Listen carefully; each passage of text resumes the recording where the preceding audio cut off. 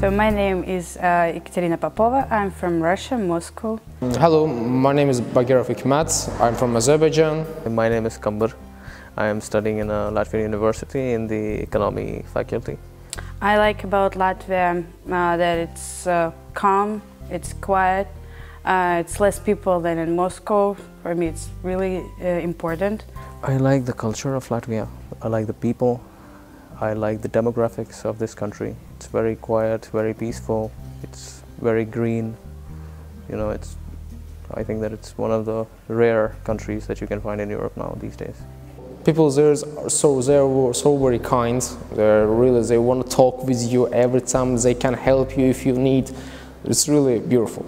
I think University of Latvia is offering many programs for the international students. It's very friendly towards the international students, I think.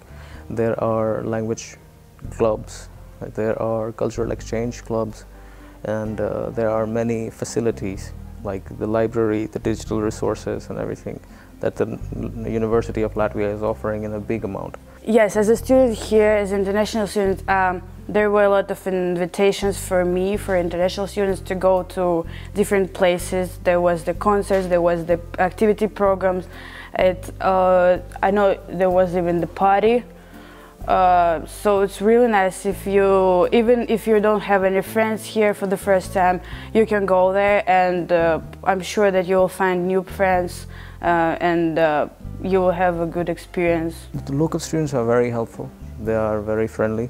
When I came here, I had missed uh, one week of my lectures and I was very much worried that how I'm going to get back on the track with other students, but they helped me a lot and I really feel that I didn't miss anything that after I came here, within one day or two days, I found friends. They sent me emails, so it was they're very helpful. Latvian University and Riga can give all you need, and it's really good. For example, some some of my friends they advise me other European countries, for example, for Erasmus program. But I think that it's really maybe it's Riga now is one of the best student capitals and students to study and for student life, it's one of the best cities in Europe. I think Latvia is a developing educational spot, basically. Right now, it is more popular in the Eastern Europe, okay. But in future, I see that in the next three or four years, it will get famous also in the Middle East and South Asia, where I come from.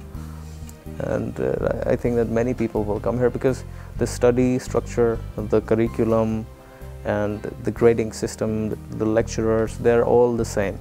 Okay, I mean, you find the same quality like you find in Dublin maybe or in England.